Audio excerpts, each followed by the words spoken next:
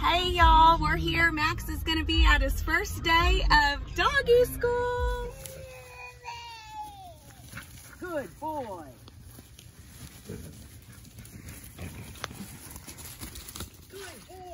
Good boy.